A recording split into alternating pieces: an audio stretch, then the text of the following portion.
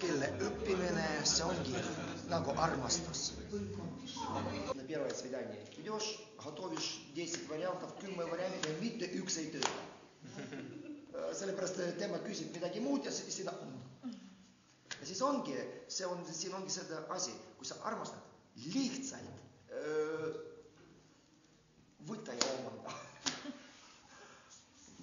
ma sain aru, võta ja omanda.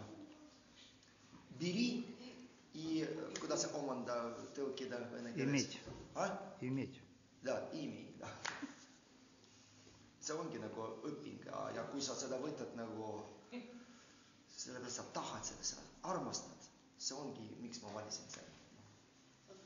Когда вы познакомились со своей женой, вы уже, ну, хорошо уже говорили по-эстонски? Ни одного слова не знаю. Да? Э, Мы, Moskvana, sama ei tapa. tema on tap-, tapa tüdruk see on, kõlab väga hästi.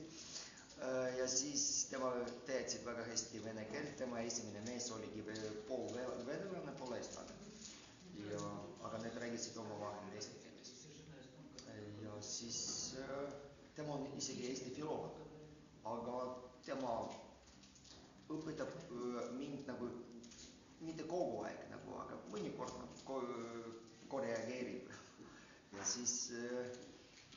rääkisime, rääkisime, aga ma nii tahtsingi rääkida eesti keeles.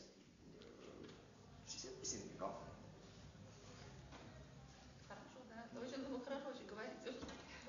no vot. kaua sul läks Ruslanna aega selleks? et sa nii äh, hästi no, no, nii nagu ma ütlesingi, et äh, aasta pärast ma juba intervjuu andsin mm. ETV-s. Äh, loomulikult ma rääkisin niimoodi, ma ukrainlane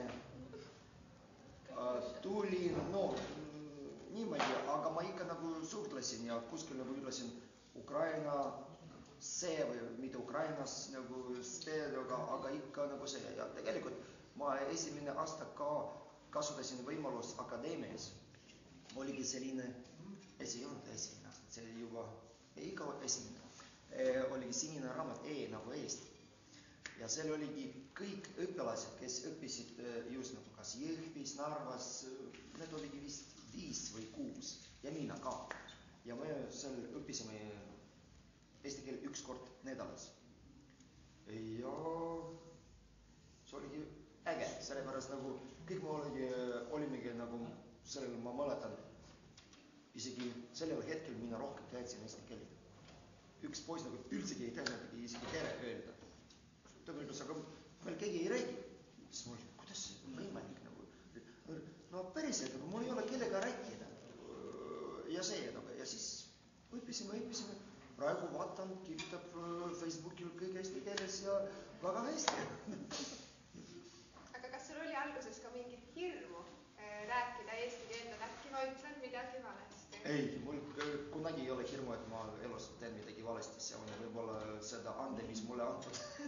Ükskõik, mis ma teen, nagu, aga võib-olla see on õpetatud ka, kui sa oled spetskoolis äh,, ainult sina pead teadma oma vigad. Loomulikult ma tean neid ja kogu aeg parandan, aga rahvas, kes mind kuulab, tema ei peagi isegi nagu äh, kui vaatad niimoodi, et mina kuskil tegin viga. päris palju muusikuid esinevad ja kuskil nagu väike säde, siis ta siis sa saadki aru, miks tema üldse mängib. aga kui sa oled nagu sellises klassis nagu äh, muusik meil niimoodi õpetas, väga kindel seda ja järgmine kord, kui sa teed, vot siis on juba, see on juba viga ma arvan, et see on üks oluline koht ka, mida me peaksime ise ka võib-olla mõtlema, et, et kui me proovime rääkida, et ei tohi olla sellist valehirmu, et ma nüüd ütlen midagi valesti ja mida see teine inimene minust arvab siis. et kui mina räägin ka vene keelt, ma räägin täitsa valesti vene keelt, aga